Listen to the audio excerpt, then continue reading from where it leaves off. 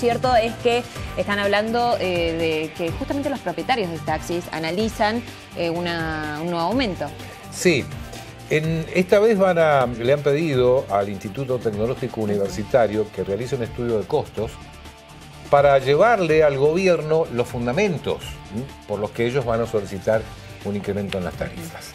Recordemos que hubo hace muy poco eh, un, un aumento en el precio de, de la bajada de bandera que eh, habían pedido el 40%, les dieron el, el 20 el 25% y ahora el GNC Pero pegó hace, un salto. hace muy poquito Hace eso. poco, hace, creo que fue, si mal no recuerdo, en de- febrero, primeros días de febrero empezó a regir una nueva tarifa.